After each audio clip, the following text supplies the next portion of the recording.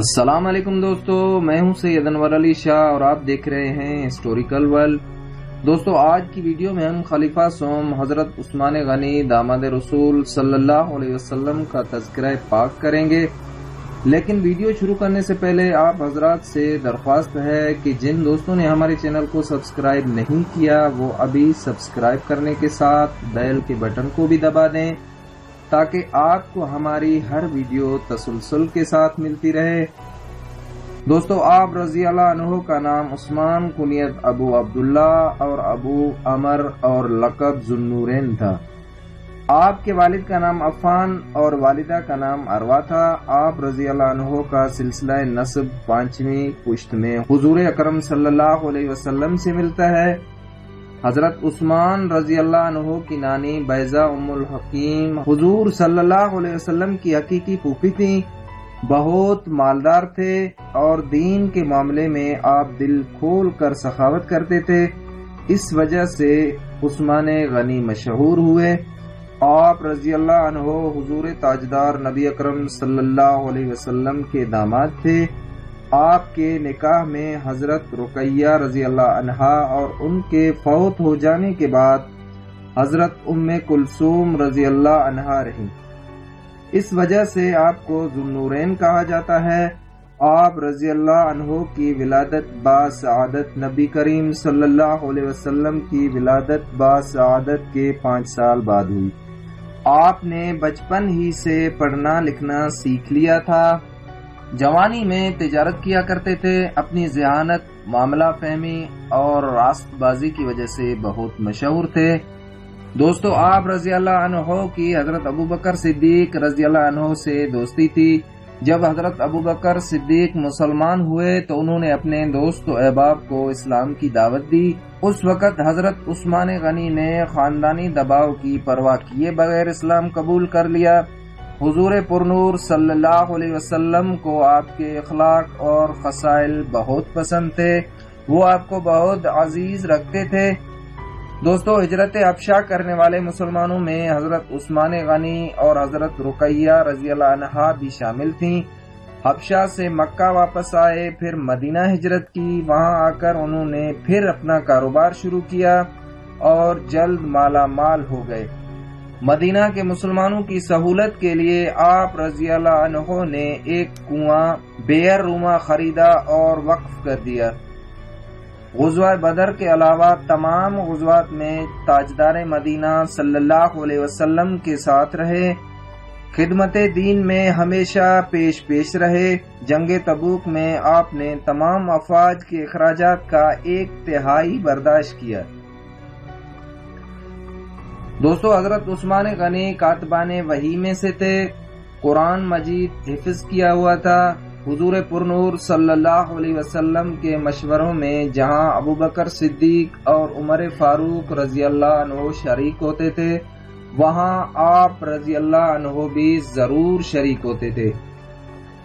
دس ہجری میں آ حضور صلی اللہ علیہ وسلم کے ساتھ حج کی سعادت بھی حاصل کی۔ دوستو، قرآن حکیم سے آپ رضی اللہ عنہ کو بہت محبت تھی۔ آیات ربانی کا مفہوم سمجھنے اور ان سے استنباد احکام کے فن کی مہارت رکھتے تھے۔ قرآن کریم سے محبت کا اندازہ آپ رضی اللہ عنہ کا اس بات سے لگایا جا سکتا ہے کہ آپ نے قرآن عظیم الشان کی صحیح نقلیں تیار کروا کر بیرونی ممالک کو بھجوائی۔ اور قرآن حکیم کو تحریفات سے محفوظ کر لیا۔ دوستو، آپ رضی اللہ عنہ روایت حدیث کے معاملے میں محتاط تھے۔ فن اجتہاد میں ان کا کوئی ثانی نہ تھا۔ بعض مسائل میں آپ اپنے اجتہاد سے اس قدر مطمئن ہوتے تھے کہ دوسروں سے اختلاف کے باوجود دلائل پیش کرتے تھے۔ علم تقسیم اور ترکہ میں بہت مہارت رکھتے تھے، حضرت عثمان غنی کو اس علم کا امام مانا جاتا تھا۔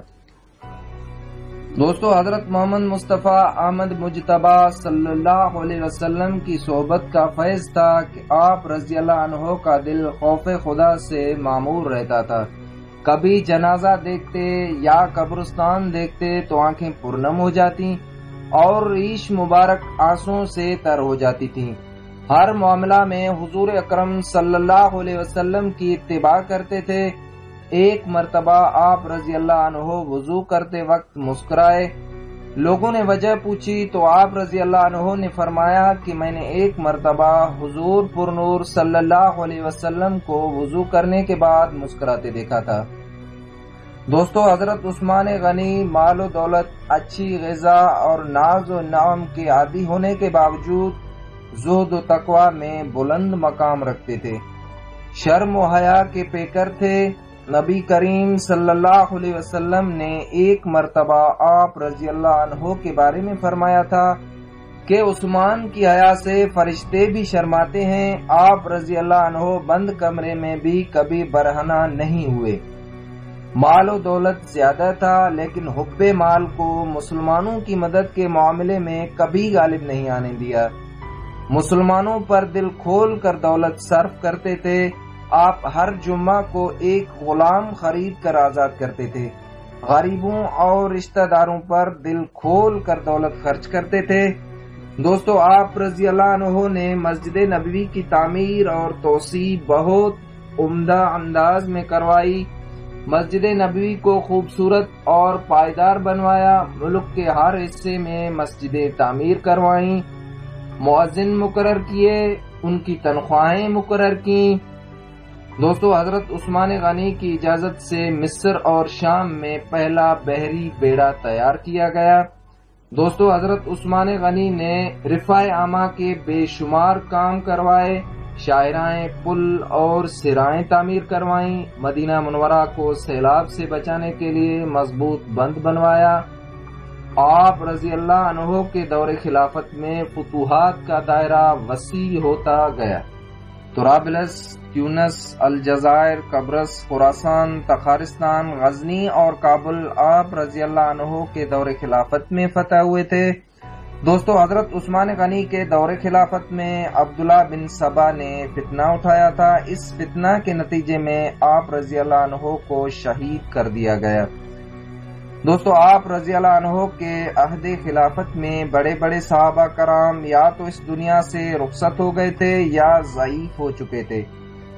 ان کے لیے ممکن نہ تھا کہ وہ امور سلطنت سر انجام دے سکیں، چنانچہ اکثر ذمہ داریاں نوجوان صحابہ کو سونپی گئیں، جن کے خلاف رد عمل پیدا ہوا۔ دوستو، حضرت عمر فاروق رضی اللہ عنہ کے دور خلافت میں قریش کو مفتوحہ علاقوں میں زمینیں اور جاگیریں خریدنے کا حکم نہیں تھا۔ لیکن حضرت عثمان غنی کے دور میں قریش کے معززین و قابر نے مدینہ سے نکل کر مفتوحہ علاقوں کی جائیدادیں خریدیں اور وہاں کے شہزادے بن گئے۔ فساد پھیلانے والوں کو پراپگینڈا کرنے کے لیے خاصا مواد مل گیا۔ انہوں نے حضرت عثمان غنی کے خلاف مہم شروع کر دی۔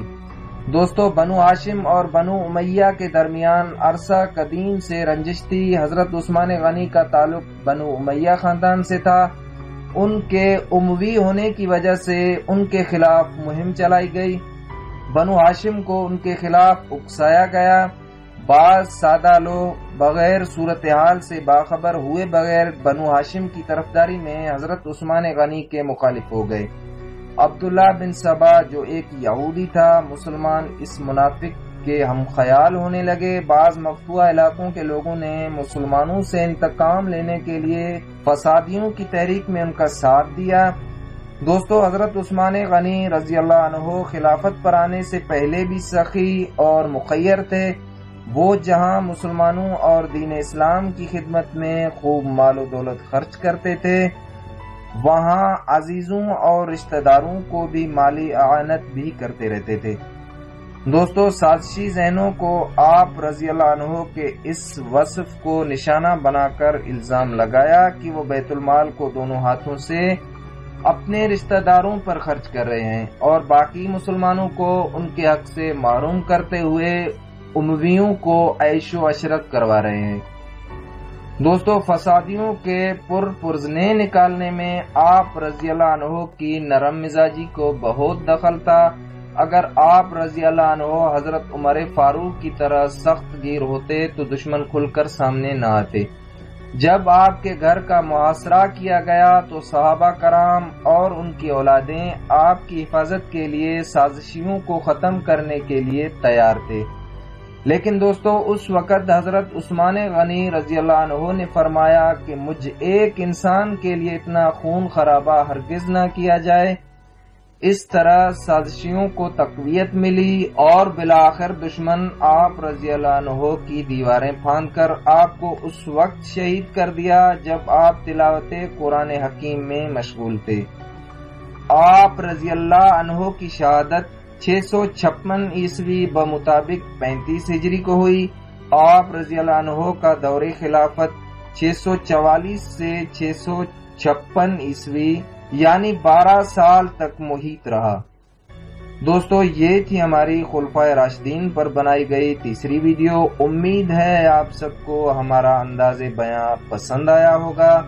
دوستو، ویڈیو پسند آنے کی صورت میں کمنٹس کے ساتھ لائک اور شیئر کرنا مت بھولیے گا۔ ملتے ہیں آپ سے اگلی ویڈیو میں۔ تب تک کے لیے اجازت۔ اللہ حافظ۔